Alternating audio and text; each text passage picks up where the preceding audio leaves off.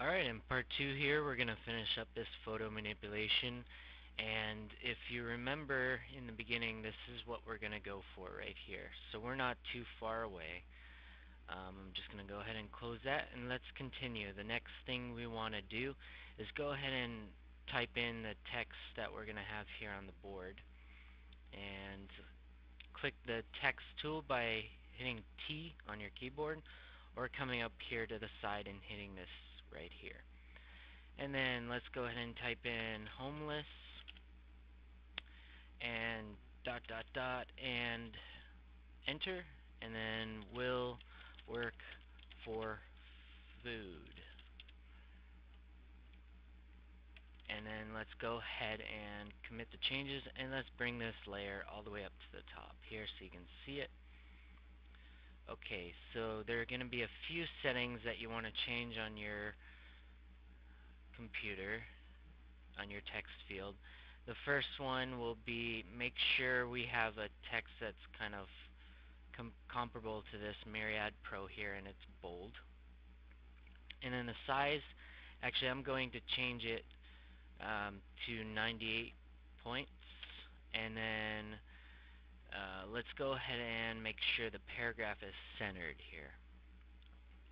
And we're done with that. We next want to we we want to add some layer styles to this. So we're going to come down here to the FX panel or effects panel and it is now off screen so you can't see it but we're going to go ahead and do inner shadow to begin with and then it'll pop up this dialog box here and then leave it to multiply. We'll leave it to black and we're going to change the opacity to 58% and the angle is going to be 300 here. So let's just go ahead and 300 and global light let's go ahead and leave that checked on. And make sure the distance is 5 the choke is 0 and the size is 8 and let's go ahead and while we're in this dialog box, let's go ahead and add a bevel and emboss. Let's go ahead and check that one and click over to it. And let's make it a pillow boss, pillow emboss. And let's go with chisel hard. And the depth, let's go ahead with only 1%. And let's make sure it goes down direction and for the size let's do 10 and for soften let's do 0 you'll see what this is doing after I go ahead and close this dialog box here. Okay and then come over here to the pattern overlay and click it and then come in here to the pattern and go ahead and click this strings 128 by 128 and then let's go ahead and do several things to this one let's make the opacity 64% and then I know I want to scale it up to 216 and you can play around with this a little bit but that's about where you want to go. And this will give it some a little bit of texture to it. And then go ahead and make sure this link with layers checked on. And we are all done in here so go ahead and press OK. And there we have it. Right now it doesn't look like much is done but it has. And make sure you rotate it a little bit here to kind of flow with this board here. And then once you do that, go ahead and press enter. And let's move on here to the final thing, which is the border. Oh, actually, it's not the final thing, but it's one of the final things.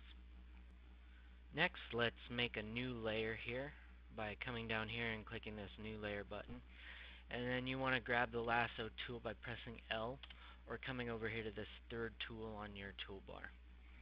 And let's draw an irregular shape with the lasso tool on this new layer by just making a organic type shape. And make sure we cover the legs. And if you don't like a certain area you can add or subtract by coming up here. Go ahead and press alt and make your irregular shape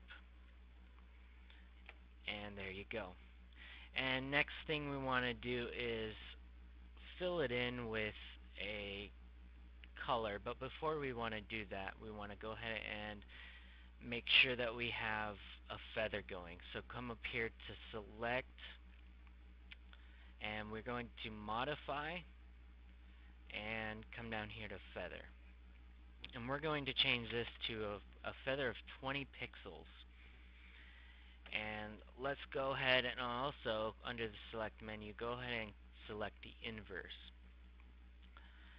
And you want to fill this in by pressing Control Delete and there it fills it in with white. And that's perfect. So let's go ahead and move on here. Let's deselect by pressing Control D.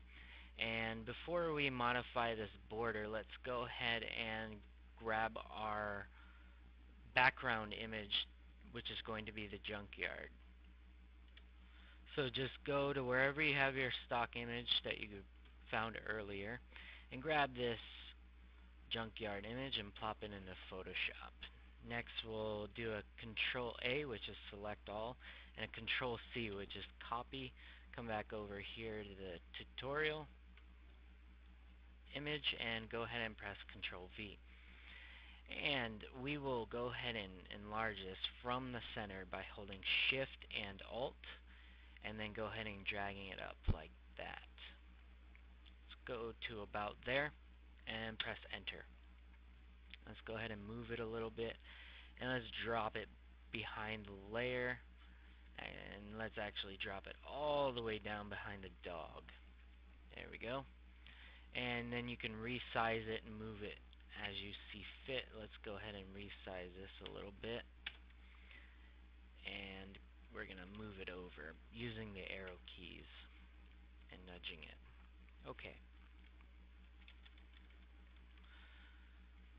Next thing we can do is we're going to mess around with this border so that we get little wispy looking things from the clouds and this is going to take the longest amount of time because it depends really on your system how much memory you have and how fast your processor is.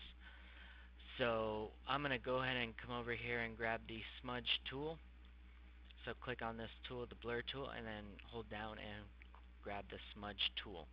Let's go ahead back up to layer 1 and let's go rename that to border. And let's go ahead and start smudging.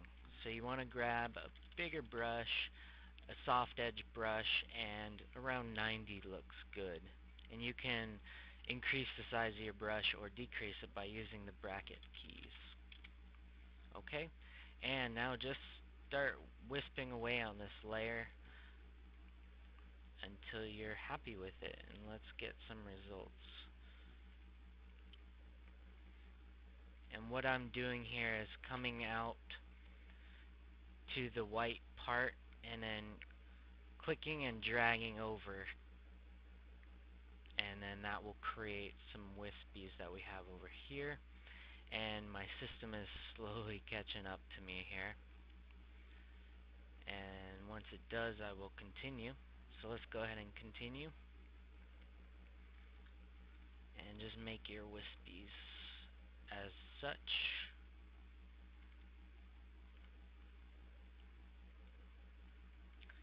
and there we go and I'm all the way back around now. It's starting to catch up to me.